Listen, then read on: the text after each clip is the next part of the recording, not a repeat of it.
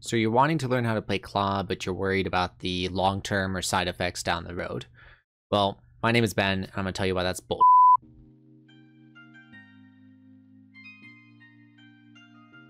For those of you that don't know, I've been console gaming for almost two decades now. I started with uh, GoldenEye 007 and also Super Mario 64.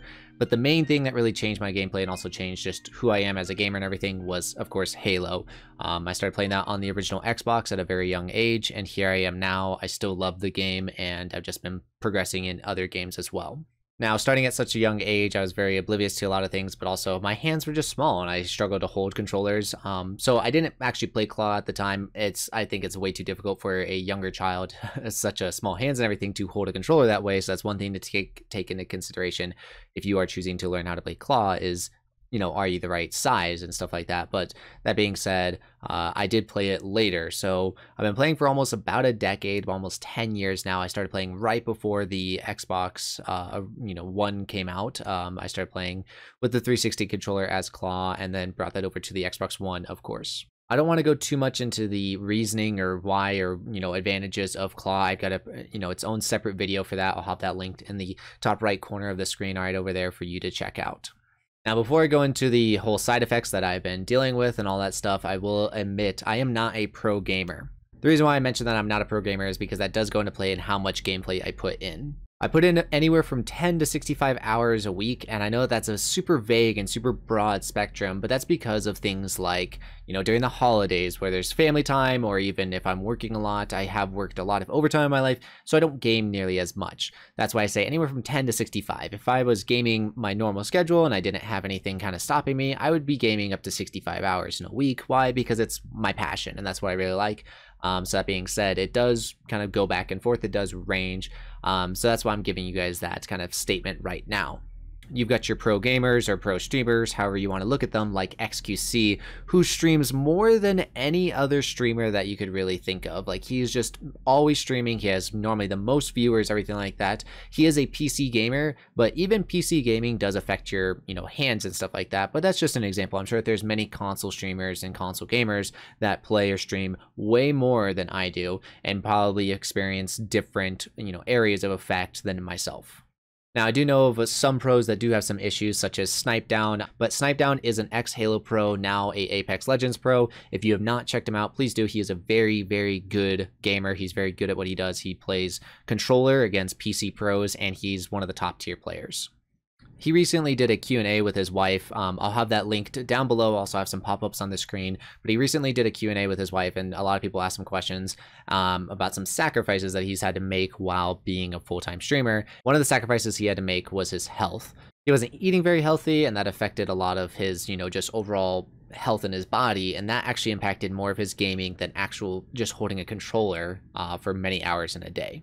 He also mentioned sitting down for hours, and of course, that's you know more of your actual posture, your you know your legs, all that type of stuff, opposed to your hands, and that's my main focus today. But he did talk about a lot of stuff, including his health. I'm gonna have the quote up on the screen, but what he said was, "I've had a couple things go wrong. I've had pinched nerves in my hand. I've had issues with my hands and circulation."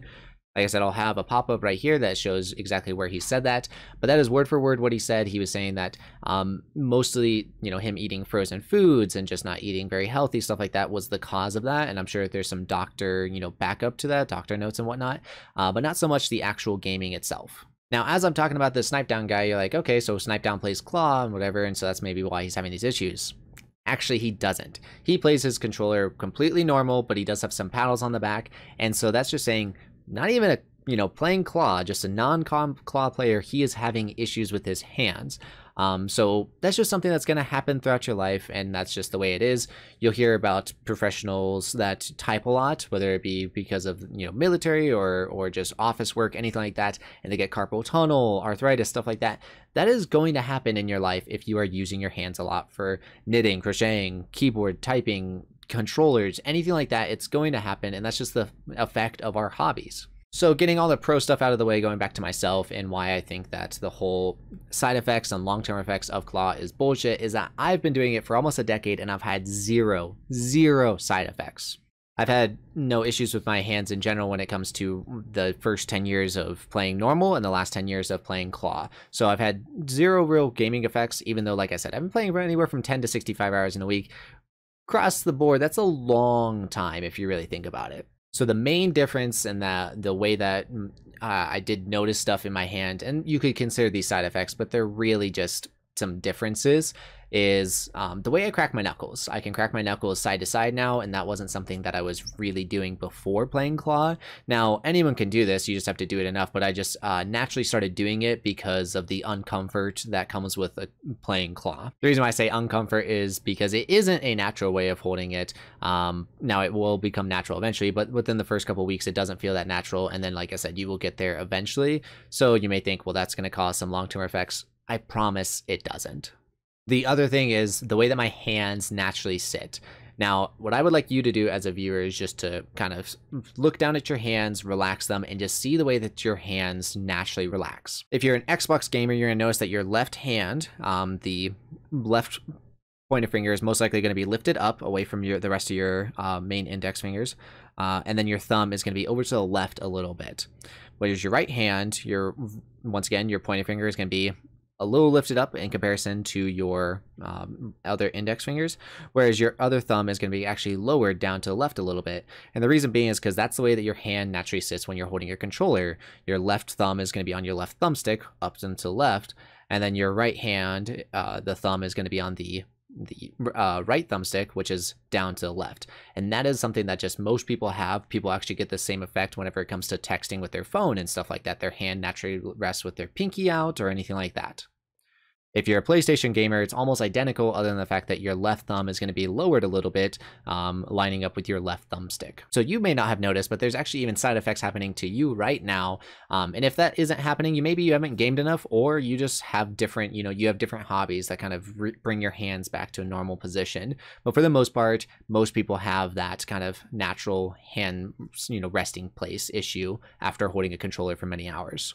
Now, the best side effect was my just overall improvement from gaming. I've overall just increase my skill over the time. Now, sure, that does come with the fact that I've been playing, you know, for two decades and whatnot. So that will directly impact how much, how my, how skillful I am. But I have noticed a noticeable difference from when I started playing, or when I wasn't playing Claw, when I started playing Claw. So I don't have any footage of that, considering that was 10 years ago and I just didn't have the recording equipment. But I do have footage, of course, of me playing it currently, and I do hit some pretty good shots. I'm overall pretty good gamer and stuff like that. So that being said, I overall stand by Claw to the max. I really do think that it's well worth it and all the extra benefits that you get, such as just the way that, you know, you can jump and aim or just press any buttons you need to at the same time. One way to prevent you having issues with your hand later down the road or overall just aches and pains is of course hand exercises or hand stretches, stuff like that. And I personally don't really have, you know, good advice on that. I'm not a doctor or anything like that, so I would not give you guys personal advice. But there are plenty of YouTube videos, and I'll have some, you know, flowing right here. But there's plenty of YouTube videos on gaming specific stretches or overall just pros and what they stretch with, or overall just hand stretches. So I would recommend you guys looking into that. That's going to help you way down the road with just overall, you know, avoiding those aches and pains and all that types of stuff. And like Snip3down said in his Q&A, there's just overall healthy habits that you need to do go outside and exercise, go ahead and, you know, eat a little bit healthier. Uh, if you're living at home, most people watching this are probably a younger audience and you're living at home, you probably do have a healthier eating habit just with you, if your parents are making you food or whatnot. But as you get older, I will tell you, it does get a lot harder when you just get a little bit lazier, you run out of time and all you want to do is put that Hot Pockets in the microwave. But like frozen foods are really bad for you. And once again, I'm not the best to kind of recommend or even give you guys advice on that because I do eat pretty horribly, but that's besides the point. I'm telling you, these are recommendations from pro people, from other people to just overall eat healthier. Not only does it help your brain, it also just helps your mood, it helps the way that you feel, everything like that, but also it's going to help you in the long run.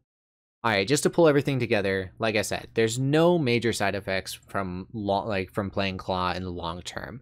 Um, I've been doing it for almost a decade, and like I said, the most you know noticeable difference was cracking my knuckles and the way that my hand rests. There's really not that big of a deal um, in the differences between, you know, just playing video games in general and playing Claw. I do recommend that you switch to it. It's really not that big of a deal. Um, and from there, just eat healthy, have good habits, go outside, get some exercise, stuff like that. All right, you made it to the end of the video. If you did not know I was using a green screen, comment down below if you did know I was using a green screen. Anyways, if you would like to see more content, go ahead and check out these videos right over here. I should have the one where it's how to play Claw. I highly do recommend watching that if you are interested. From there, I do plan on making plenty of extra claw videos, uh, clawing different controllers, such as GameCube controllers, Wii controllers, that's right, Wii controllers, Xbox, all that fun stuff. So if you are interested, a subscribe would be a huge, um, you know, just support overall. So um, also leave a like, a comment if you guys did enjoy this video or not.